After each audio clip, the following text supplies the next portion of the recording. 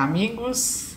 É um prazer estar com vocês mais uma vez, usando esse recurso que a tecnologia nos oferece, estando nesse momento que eu chamo de exceção. Eu espero que todos vocês estejam bem, junto com as suas famílias, nesse momento de alguma preocupação, mas um momento de reflexão.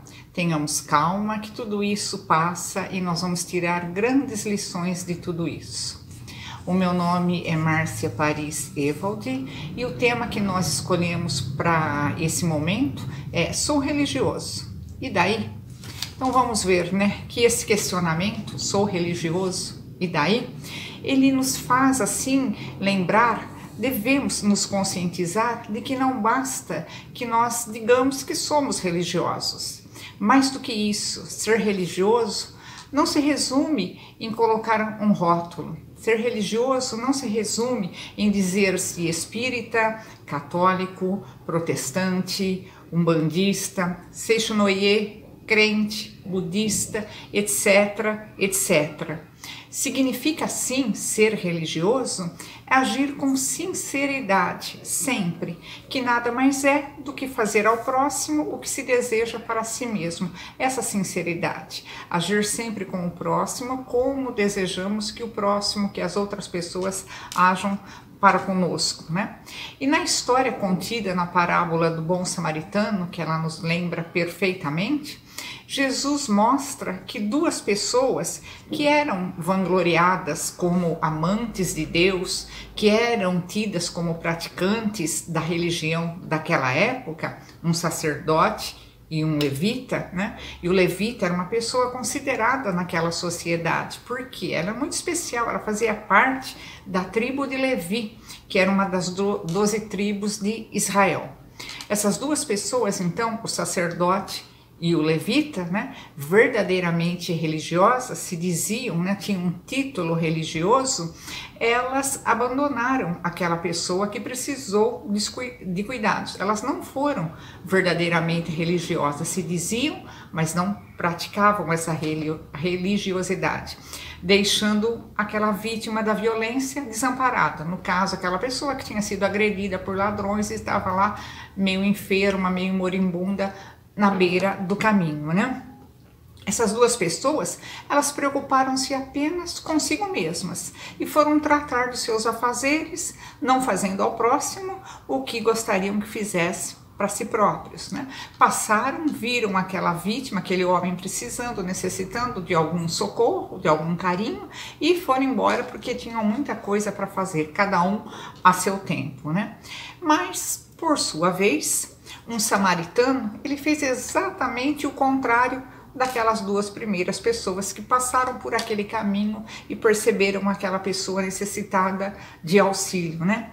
E os samaritanos, aqui nós fazemos uma parte, eles eram habitantes provenientes da Samaria, que era uma, uma região odiada pelos judeus. Tinha Samaria, Judéia, Pereia. As, os judeus, quando eles tinham que ir para Samaria, eles faziam uma rota enorme justamente os judeus, quando eles tinham que sair da sua cidade, eles evitavam passar pelo território da Samaria. Eles faziam uma volta muito grande, justamente para não passar ali, porque era uma região odiada pelos judeus, né? Pois os seus habitantes da Samaria, eles não aceitavam muitas das práticas judaicas. E os samaritanos eram colocados como pessoas impuras. Ah, não aceita a minha doutrina, então você é excluído, é impuro, né? Eram considerados desobedientes a Deus, não seguiam as, as leis de Deus. E muitos religiosos judaicos, olha até onde ia esse preconceito, né? Essa, essa briga. Muitos religiosos judaicos, eles cuspiam de lado ao pronunciar o termo samaritano numa referência ao grande desprezo que tinham por aquele povo. Né? E na parábola, Jesus então coloca o samaritano, aquele que teoricamente era o excluído, né, como aquele que mais sinceramente ajudou o próximo sem esperar nenhuma retribuição. Ele não conhecia aquela pessoa, não é? Ele não fez uma atitude caridosa visando um reconhecimento, visando algum retorno. Não, né? Ele ajudou sinceramente o próximo sem esperar retribuição, deixando seus interesses de lado e buscando, em primeiro lugar, o bem-estar daquele enfermo, daquela criatura necessitada de cuidados é, num primeiro momento mais físicos, porque ele tinha sido agredido, ele estava ferido, não é? Então esse samaritano esquece o seu compromisso, provavelmente ele estava ali a caminho, indo para algum lugar, resolver algum, alguma pendência, algum assunto, e quando ele se deparou com aquela pessoa necessitada, que tinha sido agredida, que tinha sido assaltada, ele para e vai cuidar daquela pessoa, esquece o interesse dele por aquele momento e se dedica a essa pessoa, né? Então, olha, será que hoje não estamos sendo como o sacerdote ou como o levita? Nós nos dizemos religiosos, né? Nós somos espíritas, mas nós estamos nos comportando como religiosos, como espíritas no nosso caso, né? Será que nós estamos indo ao centro, à igreja, a um templo como um desencargo de consciência apenas para a sociedade ver que eu tenho alguma religião, que eu estou ligado a um grupo religioso, né? Então vamos parar de pensar, né? Não estamos agindo como aquele sacerdote, como aquele levita, que dizemos uma coisa, mas na hora de fazer nós fazemos exatamente o oposto do que a religião recomenda, não é? Estaremos indo ao centro, à igreja ou a qualquer templo simplesmente como desencargo de consciência, cumprimos aquela nossa hora semanal ou diária e pronto, não é? Na hora que nós somos chamados a prestar algum testemunho, nós agimos como samaritano, deixando de lado as nossas preocupações e nos dispondo a ajudar a quem precisa é um momento de a gente parar e fazer uma reflexão, não é? Eu estou agindo como aquele samaritano, aquela pessoa que era tida como excluída, que não era bem vista pelos judeus, mas que fez todo o bem que estava ao seu alcance para uma pessoa que ele não conhecia, ele não tinha visto, né? provavelmente nunca mais ele veria aquela pessoa, e ele fez o bem, né? Então, se não for assim, de que adianta nós chamarmos Jesus de mestre se não agimos com segundo seus preceitos? Nós chamamos Jesus de nosso irmão maior e o que, que nós esperamos de um irmão maior? Né? Aquele exemplo e a gente siga aquele exemplo bom. E Jesus nos deixou todos esses exemplos, basta que nós sigamos. Então, chamamos de irmão, mas seguimos os exemplos de um irmão mais velho que só quer o nosso bem? Chamamos de mestre. E o que, que o mestre nos traz? Sempre ensinamentos bons que vão ser úteis para a nossa vida todinha. Então, olha, chamamos Jesus de mestre, mas nós seguimos os seus preceitos, nós seguimos os seus ensinamentos. É um momento para a gente parar e, sinceramente, cada um de nós responder para si mesmo: não, eu faço, eu sigo, ah, eu procuro fazer. Ou não, eu não faço, a minha religião é só de fachada, para os outros verem, né? Então, olha, não esperemos dobrar a justiça de Deus pela quantidade das nossas palavras. Não é por muito orar Tá? ou por muito falar de Deus, tá? que nós vamos dobrar essa justiça, vamos moldar essa justiça ao nosso interesse. Isso não vai acontecer. Então, olha, não esperemos dobrar a justiça de Deus pela quantidade das nossas palavras ou dos nossos atos exteriores. O único caminho que nos está aberto para encontrar essa graça diante de Deus, diante do nosso Pai, é a prática sincera da lei do amor e de caridade. Isso nós falamos sempre. Temos que ser sinceros, temos que ser caridosos, né? Praticar a lei do amor e caridade, fazendo para o outro tudo aquilo de bom. Por quê? Porque nós queremos que os outros nos façam coisas boas, cada vez melhores. É isso que nós esperamos. Então nós temos que oferecer isso, né? E no, no Evangelho segundo o Espiritismo, no capítulo 18, lá no item 9, é feito esse questionamento, esse, esse comentário que nós estávamos fazendo até agora, né? Capítulo 18, item 9 do Evangelho segundo o Espiritismo, nos diz o seguinte: Mas de que serve chamar mestre ou senhor se não lhe seguimos os preceitos? Está lá no Evangelho, não é? Sempre nos alertando, né? Não vai adiantar nada, né? São cristãos aqueles que o honram por atos exteriores, tá? E se comportam de uma forma diferente, se comportam com orgulho, se comportam com egoísmo, com cupidez e todas as paixões inferiores? Então vamos parar e vamos refletir. São discípulos de Jesus aqueles que passam dias em prece e não são com isso melhores nem mais caridosos. Adianta todo dia eu estar em prece? Todo dia eu fazer a minha prece, ou em momentos variados eu fazer a minha prece, ter aquela rotina de prece, ter aquele hábito, mas eu não mudo o meu comportamento, eu não me torno uma pessoa melhor. O que, que a prece está adiantando? Eu estou usando palavras, mas eu não estou nem meditando naquilo que eu estou falando, porque aquilo não está se interiorizando para que eu pratique, não é? Então, olha, não são discípulos de Jesus aqueles que passam dias em prece e se com isso não se tornam melhores, não se tornam mais caridosos, mais indulgentes para com seus semelhantes. Então nós temos que fazer preces, sim, para que a gente seja auxiliado a melhorar, mas nós temos que colocar em prática todas essas nossas boas intenções, não podemos deixá-las guardadinhas, ah, é para amanhã. Não, temos que começar já a melhorar e nós podemos fazer isso, nós temos uh, base para isso, nós temos potencial para isso, né? Então, olha, não adianta essas preces. Não, a resposta lá do Evangelho. Porque assim como os fariseus, eles têm a prece sobre os lábios e não no coração. Então não adianta eu falar muito, não adianta eu falar bonito, se o meu coração não está aceitando, tá? Não está integrando tudo aquilo lá para eu mudar o meu comportamento, né? Com a forma, com a parte exterior, né? Essas pessoas, elas podem se impor aos homens, Alguns homens acham bonito, fala bem, fala bonito, não é? Mas eles não se impõem a Deus. Por quê? Olha, Deus está vendo o nosso íntimo. Ele está vendo, está percebendo que aquelas palavras, embora bonitas, elas não têm sustentação dentro do coração das pessoas, né? Então, em vão, essas pessoas dirão, né, é, para Jesus: Senhor, nós profetizamos ou seja, nós ensinamos em vosso nome, passamos o seu conhecimento, expulsamos os demônios em vosso nome, bebemos e comemos com, convosco.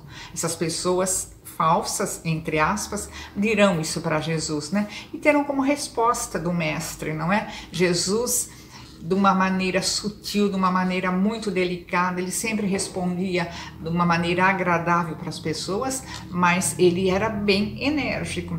Então a resposta que ele deu para esse questionamento desse grupo de pessoas, né?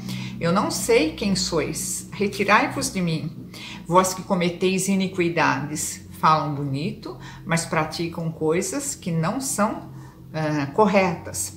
Vós que desmentis as vossas palavras com as vossas ações, fala uma coisa e faz outra, né? Que caluniais o vosso próximo, que espoliais as viúvas e cometeis adultério. Retirai-vos de mim, vós cujo coração destila ódio e fel. Vós que derramais o sangue dos vossos irmãos em meu nome, que fazeis correr as lágrimas em lugar de secá-las então ele era bem enérgico, né? Ele não falou nenhuma mentira para que as pessoas refletissem, né? Para vós, continuando Jesus, né? Haverá prantos e ranger de dentes, porque o reino de Deus é para aqueles que são dóceis, humildes e caridosos, pessoas afáveis, né? Pessoas dispostas a melhorar e ajudar o próximo, não é? Assim, então, repetindo, né, não esperemos dobrar a justiça do Senhor pela multiplicidade das nossas palavras e das nossas genuflexões. O único caminho que nos está aberto para encontrar essa graça divina é a prática sincera da lei do amor e de caridade. Então, para nós melhorarmos, para sermos mais felizes e tornarmos esse mundo mais feliz, a única uh, saída, não é o único caminho, praticarmos a lei do amor e da caridade. Então as palavras de Jesus, elas são eternas. Ele nos falou isso há um tempo lá atrás e elas valem e valerão sempre, né? As palavras de Jesus são eternas porque são a verdade. Nunca ninguém até hoje conseguiu desdizer, desmentir alguma coisa que Jesus nos trouxe. Então as palavras dele são eternas, por quê? Porque todas são verdadeiras, né? Elas, essas palavras, são a salvaguarda da vida celeste, como também elas são a garantia da paz, da tranquilidade, da estabilidade das coisas terrestres, nesse momento que nós estamos, não é?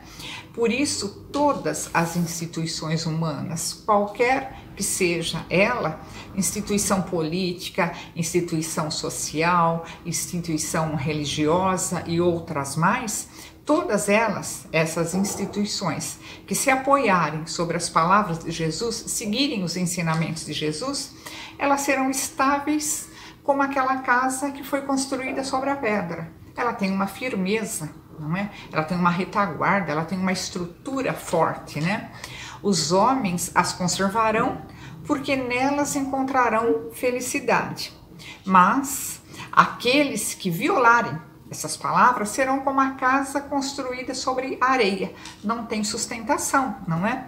O primeiro vento das revoluções, o rio do progresso, carrega essa casa e nós estamos sujeitos a revoluções. O rio do progresso é inevitável, a lei do progresso, ela está se efetuando dia a dia, não é? Tudo que nós vemos de mudança é para o bem, é o progresso, é uma lei divina. Então, se nós construirmos lá a nossa casa sobre a areia, a primeira revolução, esse primeiro rio ali do progresso vem e leva tudo, não é? E se nós construirmos a nossa casa simbolicamente, né? As palavras de Deus são verdadeiras, são firmes como uma casa construída sobre a pedra. Ela vai durar para sempre. Por quê? Ela tem base, ela tem um alicerce, ela tem sustentação, é uma verdade. E Kardec, mais uma vez, nos vem mostrar a sabedoria da doutrina espírita. Jesus trouxe todos esses ensinamentos maravilhosos, depois Kardec veio e esclareceu melhor, ampliou, não é? Fez com que nós tivéssemos uma visão ampliada desses ensinamentos de Jesus. Não mudou nada, né? Então Kardec mais uma vez nos mostra a sabedoria da doutrina espírita. Nada mais verdadeiro do que a necessidade de praticarmos o que pregamos. Isso é lógico, né? Eu falo, falo, falo e faço completamente diferente. Eu estou sendo um termo que Jesus usava, hipócrita, não é? Porque falo uma coisa e faço outra. Então, o Espiritismo, através de Kardec, vem bater nisso mesmo, da necessidade de nós praticarmos aquilo que nós pregamos, senão nós estaremos sendo hipócritas, né? Chamar Jesus de mestre, como eu falei, nós chamamos nosso irmão maior, nosso mestre, né? Chamar Jesus de mestre ir à casa religiosa, qualquer que seja ela, de qualquer corrente religiosa, dizer-se crente em Deus e com muita fé, não nos torna religiosos, sim, no verdadeiro sentido da palavra. Uma pessoa pode não ter nenhum rótulo religioso, mas praticar essa religiosidade de uma maneira muito mais abrangente do que uma pessoa que tenha esse rótulo e que vá frequente, participe de uma atividade. Tá? Mas ela não, não, a doutrina ainda não está com ela, ela está procurando ainda, né? Então, os atos exteriores, aquilo que nós falamos ou que nós fazemos, né? Se eles não tiverem assim ancorados, alicerçados numa modificação íntima, tudo começa por ali, não é? Se eu vou até uma casa religiosa, aceito aqueles princípios religiosos que são ali ensinados, que são ali expostos, né? E começo a mudar a, a, os meus atos, né? Então, se esses atos não estiverem alicerçados numa modificação íntima, o que dentro da doutrina espírita nós chamamos da nossa reforma íntima, que nós temos que sempre batalhar para essa reforma íntima, e ela nunca vai acabar, porque nós sempre vamos ter coisas para melhorar, né? Então, olha, se não tiverem os nossos atos ancorados nessa modificação íntima e numa conscientização dos deveres que nós temos, e todos nós temos, né? Poucos servirão para ajudar a quem precisa, não é? Eu não vou estar interessado em melhorar para ajudar, né? No máximo, eu estou interessado ali, se eu melhorar, para mim mesmo. Aquela atitude egoisticamente de não pensar no meu semelhante, no meu, não pensar no meu próximo, como a parábola nos ensina, né? Nós temos que pensar no meu próximo. E às vezes nós falamos assim, ai, mas um, quem é o meu próximo, né? Às vezes é o próximo é aquele fisicamente, sim, que está dentro da nossa casa, que precisa do nosso olhar melhor, do nosso carinho melhor. E às vezes o próximo, ele está um pouquinho longe, mas nós podemos também chegar até ele, até ele através de organizações é? Então nós temos que entender esse próximo no sentido físico e no sentido mais amplo, não é? Todos, no fim, são nosso próximo, como eu quero ser o próximo das outras pessoas, não é? Então, olha, vamos nos modificar para que a gente tenha essa firmeza de poder sim ajudar é, sem nenhuma intenção aqueles que precisam da gente e todo, em todo momento nós vamos encontrar essa oportunidade de ajudar, não é? Deus reconhece aquilo que nós temos dentro de nós, o nosso espírito mesmo, né? independente do que dizemos ser. Então não adianta eu querer usar uma máscara para os meus amigos, para o meu grupo social, para isso ou para aquilo. Não é? Eu posso, por um bom tempo, disfarçar o que realmente eu sou, mas para Deus, nem por um segundo. Ele conhece exatamente o meu íntimo, o meu espírito, ele sabe exatamente o que eu sou, o que eu posso fazer e não estou fazendo porque nós temos possibilidades sempre de ajudar e de melhorar, não é? Então, assim, falsos religiosos, como aquele sacerdote, como aquele levita da parábola, né? Então, há falsos religiosos também nos dias de hoje que enganam a boa fé dos que escutam, pois esses falsos religiosos, eles falam da palavra de Deus, pregam Jesus, através dos evangelhos, enchem casas religiosas prometendo milagres, não é? Para quem se dispuser a dar uma contrapartida. Mas os seus corações só buscam o prazer material. E esse prazer material é proporcionado pela ingenuidade daqueles que o seguem. Então nós temos que ter uma religião, sim, mas nós temos que ser racionais. Nós temos que estudar, não aceitarmos o que nos é falado sem passarmos por um crivo. Nós temos essa possibilidade. Nós temos a razão, nós temos a inteligência. Então, ouvimos isso, ouvimos aquilo, vamos comparar, vamos estudar mais, vamos pesquisar. Vai fazer bem para quem? Para mim, em primeiro lugar. Eu vou me os meus conhecimentos serão ampliados. Então, para mim, em primeiro lugar, e depois eu posso passar essa informação de uma maneira mais correta para outra pessoa. Não é de ouvir falar. Eu ouvi falar, eu pesquisei e realmente tem fundamento. Então, nós temos que agir dessa maneira, não é? E em outro grau, né, por outro lado, há aquelas pessoas que são frequentadoras de igrejas, de centros, de templos, mas que na verdade elas estão buscando só uma satisfação imediata. É? Tem algum problema e procuram para aquela solução imediata. Elas aceitam o que lhes é dito sobre Jesus, não raciocinam, não refletem. Elas aceitam o que lhes é dito sobre Jesus como um remédio amargo que elas têm que engolir para aliviarem as suas dores. Esse alívio imediato. Ah, então eu vou lá, eu vou fazer isso, eu vou um mês, eu vou dois meses, eu vou seis meses, tá? Ouço como se tivesse mesmo engolindo um remédio amargo para aliviar imediatamente a dor, não é? Eles oram alto, oram em bom som, falam para todos os cantos que estão seguindo uma religião. Eu estou indo lá, não é? Porém, ao menor sinal de melhora, devido à misericórdia divina, sempre entrando a misericórdia divina, né? Então, porém, ao menor sinal de melhora, devido à misericórdia divina, esquecem-se de tudo. E a sinceridade que demonstravam ter passa a ser ditado, esquecido Melhorou? Não preciso mais. Tchau. Não é? Não voltam. E nós sabemos dentro da doutrina espírita que nós precisamos tomar muito cuidado com isso. Se procuramos o centro espírita, no primeiro momento, como um hospital, porque não estamos bem, né?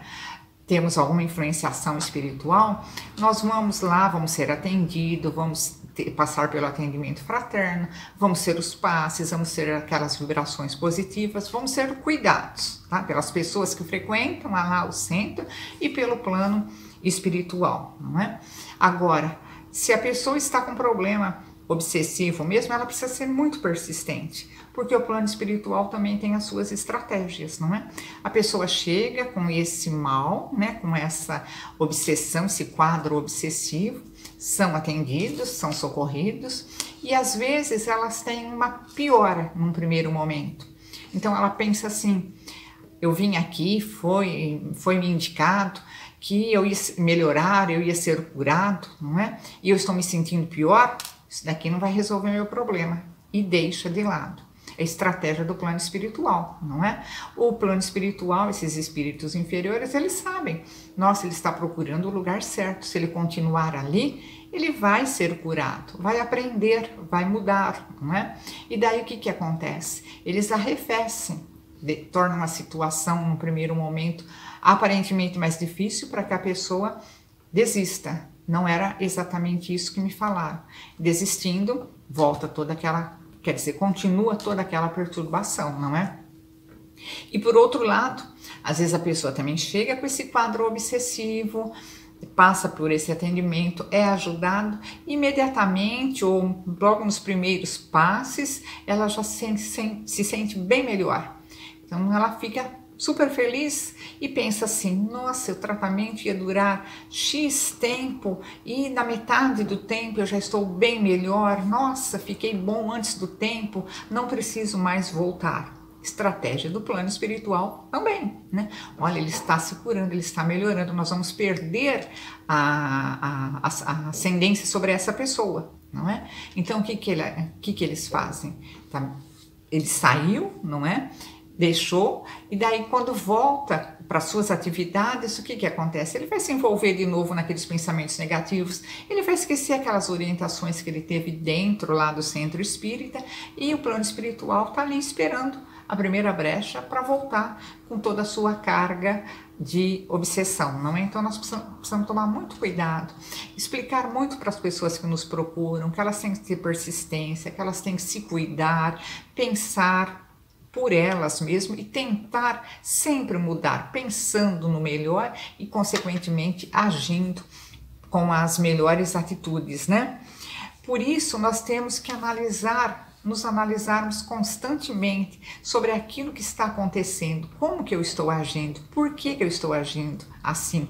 Isso é meu mesmo? Eu estou sendo manipulada, é, uma inspiração, alguma coisa desse tipo. Nós temos que parar e pensar, né? Por que, que nós agimos assim? Nos dizemos religiosos e daí? Somos realmente, né? E em outro momento, Jesus aconselha, né, sempre os ensinamentos de Jesus, um mais valioso do que o outro, né? Buscai primeiro o reino de Deus e a sua justiça, e tudo mais vos será acrescentado. Alerta também para que não nos inquietemos com o dia de amanhã, porque o dia de amanhã cuidará de si mesmo, né? Então, o verdadeiro religioso, aquela pessoa que acredita mesmo que tem fé, uma religião, não é? O verdadeiro religioso deve crer que se houver sinceridade nos seus atos, Deus fará a sua parte. Né? Quando Deus, lá nesse, nesse, nessa passagem, Busque primeiro o reino de Deus e tudo mais o será acrescentado por acréscimo da misericórdia. Às vezes nós entendemos, então eu não preciso fazer mais nada. Não é bem assim, né? É para que nós não nos inquietemos com o dia de amanhã, porque o dia de amanhã cuidará de si mesmo, mas nós temos que fazer a nossa parte e não cruzarmos os braços, não é? O verdadeiro religioso, então, deve crer que se houver sinceridade nos seus atos, nas suas palavras, tá? Deus fará a parte que lhe compete, ajudando-o, né? Que deverá trabalhar sim para o sustento material, é a nossa obrigação. Para que, que ele nos deu braços fortes, inteligência, capacidade para o trabalho, né? Então nós devemos sim trabalhar para o nosso sustento material, mas que trabalhará com aquela certeza que nada faltará para uma vida tranquila, uma vida confortável. Agora, o excesso, nós vamos falar mais um pouquinho lá na frente, ele já é mais prejudicial. Se nós nos preocuparmos com o que nós precisamos e além com o supérfluo, nós vamos ficar angustiados, consequentemente, infelizes, né? Isso porque né, nós vamos ficar tranquilos sabendo que fazendo a nossa parte, Deus prover o, o, o resto, não é? E nós sabemos, olha, que disponibilizando com sinceridade tudo que nós podemos fazer, tudo que nós podemos praticar, Jesus vai vir em nosso socorro, Deus virá em nosso socorro através dos seus emissários, nos dando condições de resolver os nossos problemas, não é? Não haverá necessidade de preocuparmos com o futuro material, Tá? Vamos nos preocupar com o nosso futuro espiritual. Então não haverá necessidade de preocuparmos com o futuro material. Nós temos que ter o básico para o nosso conforto, para o nosso bem-estar, mas não criar aquelas vãs ambições, aquela, aquele motivo de uma insaciedade constante. Eu quero sempre mais, quero sempre o melhor, não é? Então, olha, cuidemos do nosso presente dando a devida importância para a religião, qualquer que seja ela, e a vida nos sorrirá com mais frequência, tá? Então, olha, vamos dar importância para a verdadeira religião, cuidar do nosso dia a dia, mas sem querer acúmulo, sem querer demais. Quando nós queremos o demais, nós estamos tirando de uma outra pessoa, né? Não haverá por que praticarmos a religião por conveniência isso daí é uma hipocrisia. Então, não haverá por que praticarmos a religião por conveniência, pois sua busca com consciência e com bastante responsabilidade nos tornará homens e mulheres melhores e sentiremos essa mudança no nosso estado de ânimo. Quando nós estamos fazendo uma coisa na certeza, é? o nosso estado de ânimo muda. Agora, quando eu estou fazendo uma coisa para aparecer para essa pessoa ou para ter esse conceito dentro da sociedade em que eu vivo, eu estou sempre preocupado. Será que eu estou fazendo certo? Será que eu estou enganando bem, não é? Não, vamos ter a nossa religião para que ela nos torne melhor mesmo, qualquer que seja ela. Toda religião tem um fim nobre, nos aproxima de Deus, nos aproxima do melhor, não é? Então vamos seguir não só em palavras, mas através dos nossos atos, das nossas atitudes. Assim, entendamos que buscar primeiro o reino de Deus não é viver alienado das necessidades materiais. Uma coisa bem diferente, né? Ou trancar-se longe das dificuldades da vida. Não é isso. Se assim fosse, o cristão seria um covarde e ficarmos esperando o reino de Deus, não é? Pelo contrário, quem está com Jesus, quem segue Jesus, está procurando entender os seus ensinamentos, amparado pelo conhecimento que a nossa doutrina espírita proporciona, é uma pessoa corajosa. E isso faz com que enfrente a vida sem medo e sem dúvidas. Então, nós temos momentos da nossa vida que nós ficamos em dúvida, que nós ficamos com medo, mas quando nós temos e temos a nossa bela doutrina espírita, nós nos apegamos e nós temos respostas, nós sabemos o porquê das coisas, não é? Tudo tem um, uma causa. Então, se hoje eu estou assim ou daquela outra maneira, por quê? Eu provoquei aquilo lá, lá atrás. E esse lá atrás pode ser o ontem, a semana passada ou a encarnação passada. É? Então, a existência dessa pessoa né, que tem uma religião é amparado nessa nessa fé racional, não é? Essa existência ela está baseada nos bens espirituais que ele quer conquistar, né? Que esses bens não, esses bens não têm como esfacelarem-se, como se perderem. Né? Tudo o que eu adquiro de bem espiritual, né? Firmeza de caráter, a paciência, o amor, né? Deixar aquele egoísmo de lado e colocar virtudes dentro de mim, né? Tudo isso jamais será perdido. Eu vou levar para minha trajetória toda daqui para frente. Foi uma conquista é uma conquista e ela já está fazendo parte de mim. Eu não perco nunca diferentemente dos bens materiais que nós temos hoje e não sabemos amanhã né? Então mas se nós buscarmos primeiro as coisas da matéria do nosso mundo físico nós corremos o risco de viver angustiados pois a parte material ela é sempre irregular ela é sempre inconstante e faz com que a gente viva sempre preocupado com o futuro, não é? E nos prepara, é, essa preocupação com o futuro faz com que a gente não se prepare nesse presente. Nós estamos tão preocupados com o futuro, será que eu vou ter? Será que eu vou conseguir? Não é? E nós não vivemos o presente não nos preparamos no presente para ter esse futuro um pouco melhor, né? Então não vamos ficar buscando as coisas da matéria, né? Ser religioso não é só viver em prece, não, mas não ficar correndo atrás das coisas materiais. Por quê? Tudo que é material é irregular, é inconstante. Eu posso conseguir uma fortuna, não é? Posso herdar uma fortuna, nascer numa família riquíssima, mas amanhã eu posso perder tudo, não é? Eu posso ser ter uma beleza física esplêndida, não é? Ser um modelo de beleza, amanhã qualquer acidente ou qualquer doença pode me tirar aquilo. É? Então esses bens materiais eles são muito transitórios. Hoje nós temos, amanhã nós não sabemos. Agora os bens espirituais não conquistamos, eles estão ali na nossa bagagem. Nunca eles vão nos deixar. Nós só conquistaríamos mais. Então vamos investir no que é para sempre, no que é duradouro, não é?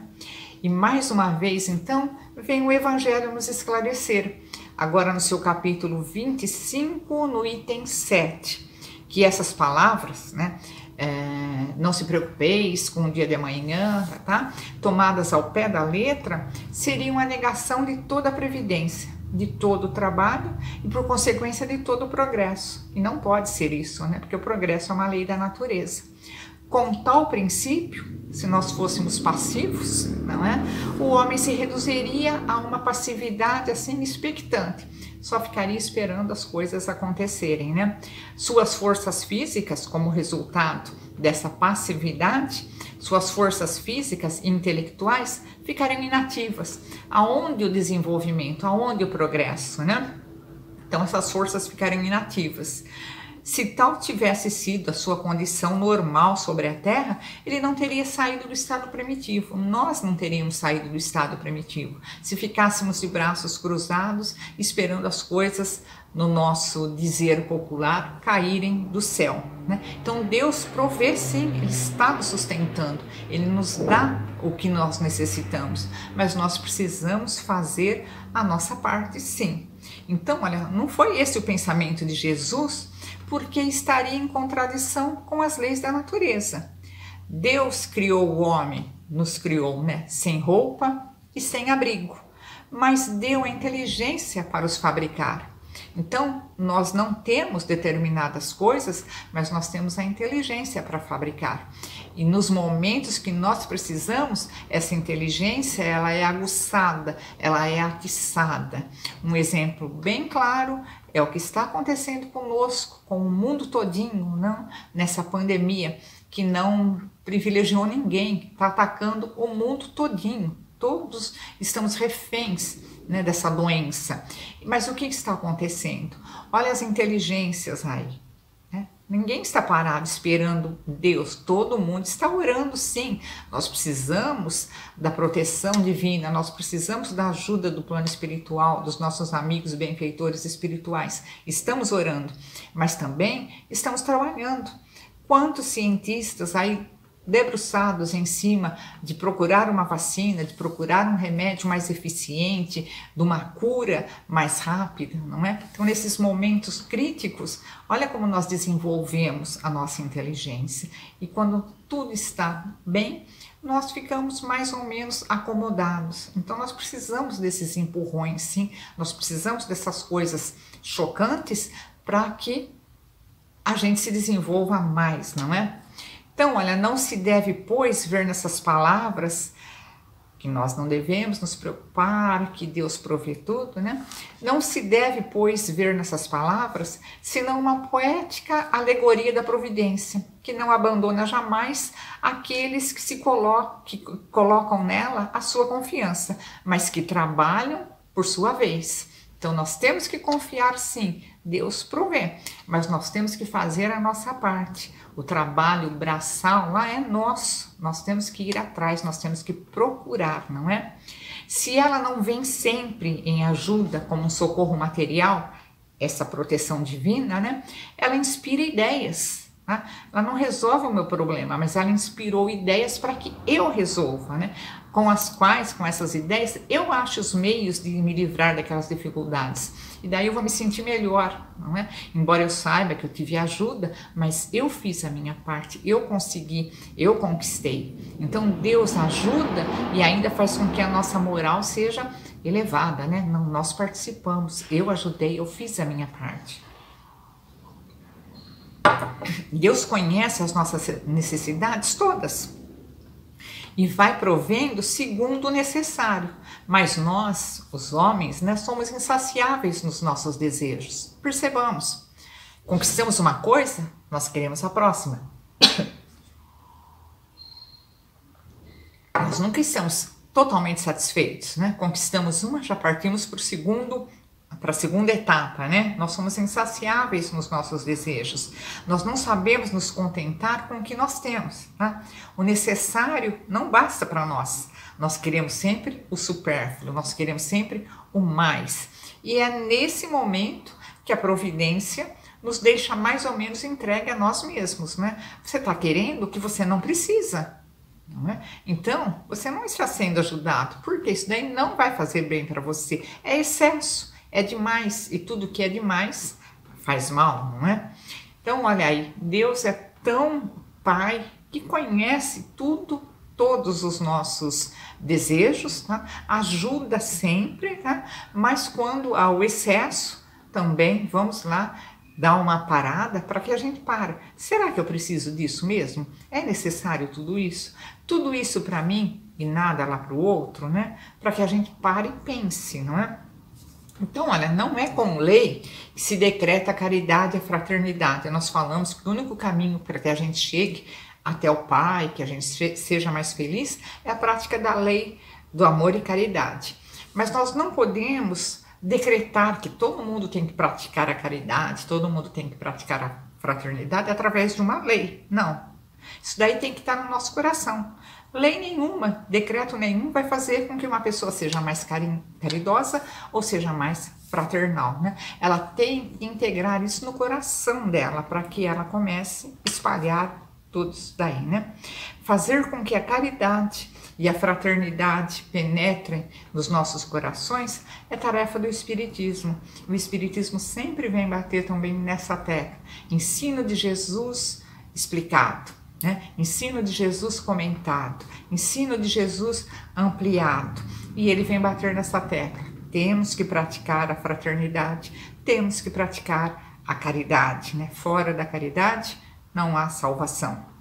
E no Evangelho, segundo o Espiritismo, continuando no mesmo livro, no capítulo 16, eh, Jesus nos diz, tudo tem a ver né, com o tema ser religioso e daí.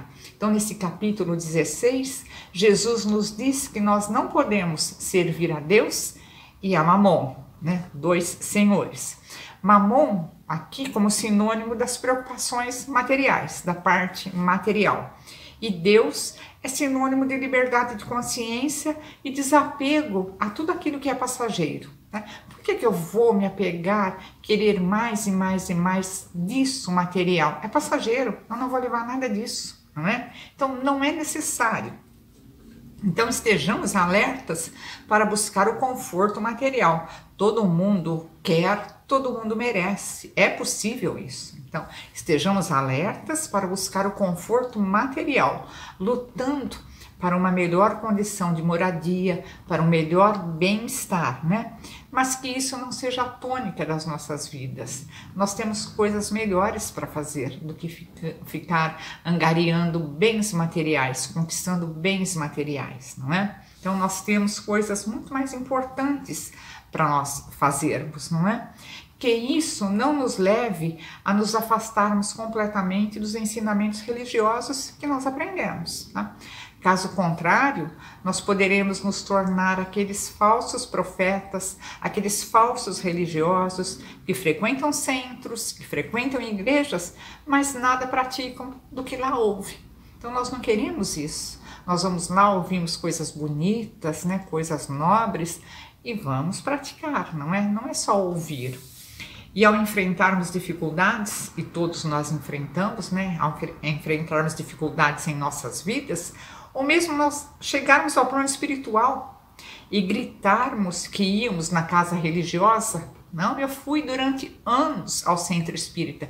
Eu fui não sei em quantas missas, né? Milhares de missas. Então, chegando mesmo no plano espiritual e gritarmos que íamos na casa religiosa, que sempre fomos religiosos, né? Uma voz interior que virá da nossa própria consciência. Ninguém precisa perguntar, não. Essa voz vem da nossa consciência, irá nos questionar. E daí? Você está dizendo que foi religioso? E daí? O que, que isso trouxe na prática? Praticamente sendo religioso, o que, que você fez, não é? O que foi feito de tudo aquilo que você aprendeu, de tudo aquilo que você ouviu, aonde está a prática de tudo isso, né? Então ninguém pode servir a dois senhores, porque ou odiará um e amará o outro, ou se afeiçoará a um e desprezará o outro. Não podemos então servir ao mesmo tempo a Deus e a Mamon. Vamos escolher, né? A nossa preferência são as coisas materiais ou são as coisas espirituais, né? E nesse mesmo capítulo, continuando essa narração, tem a história daquele jovem que se aproximou de Jesus e lhe disse: Bom mestre, o que é preciso que eu faça para adquirir a vida eterna? E Jesus respondeu para o moço, né? Por que me chamais de bom? Só Deus é bom. Então aí já foi um ensinamento, uma correção, não é? Se quereis entrar na vida, guardai os mandamentos. E o jovem, o rapaz, perguntou: Mas quais são esses mandamentos, né? E Jesus respondeu: Não matareis, não cometereis adultério, não furtareis, não direis falso testemunho, honrai vosso pai e vossa mãe, e a, a, ama o vosso próximo como a vós mesmo. E o jovem respondeu: voltando-se para Jesus, respondeu: Olha, eu tenho guardado todos esses mandamentos desde a minha juventude que me falta ainda? Eu já pratico tudo isso, não é? Que me falta ainda? E Jesus lhe disse: Se quereis ser perfeito, ide, vendei o que tendes e dai-o aos pobres, e tereis um tesouro no céu. Depois vinde e me segui. É? O jovem, ouvindo aquilo lá, ficou muito triste, porque ele tinha muitos bens. Nossa, eu vou ter que me desfazer de tudo isso, né? E Jesus disse aos discípulos, daí, vendo que o jovem foi cabisbaixo, pensativo, triste, não é? Ele volta-se para os seus discípulos e ele diz: Em verdade vos digo que é bem difícil que um rico entre no reino dos céus.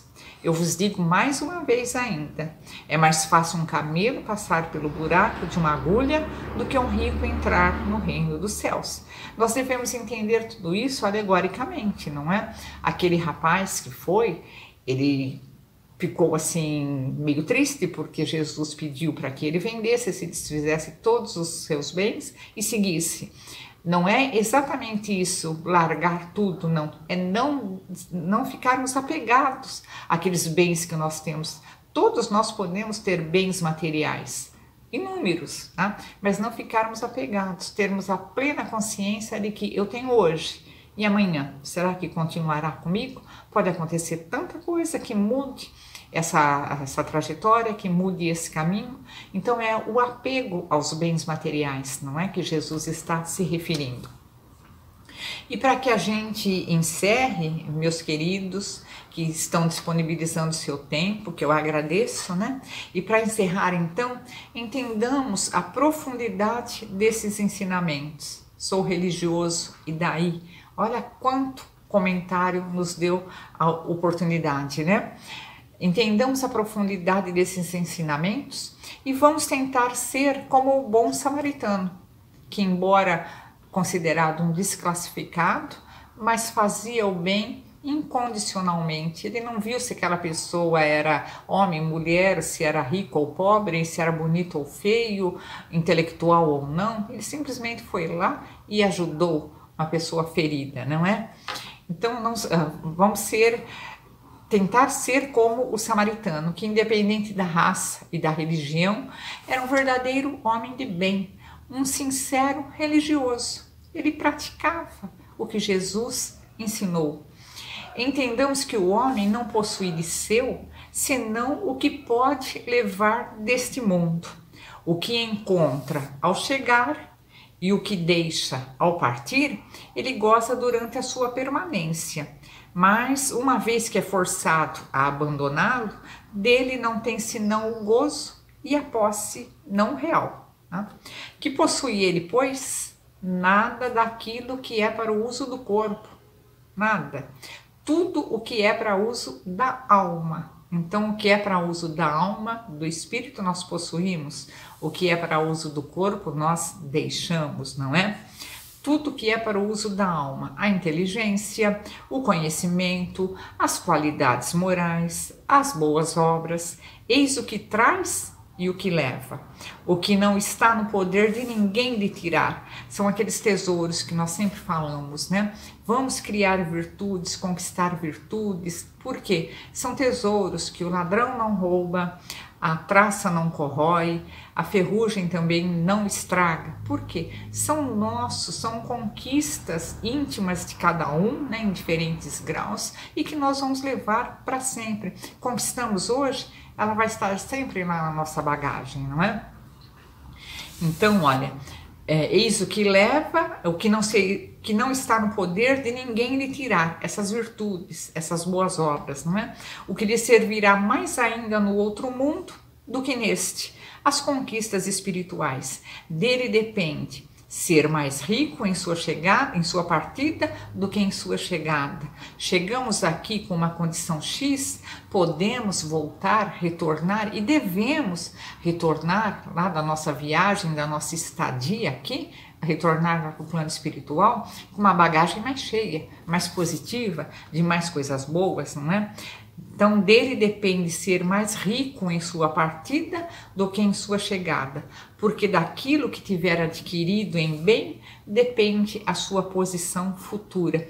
Um grande aviso para nós, né? Não vamos nos dizer religiosos, vamos praticar a religião no nosso dia a dia, olha, porque dependendo dessa aquisição desses bens espirituais, né, vai depender a nossa posição futura.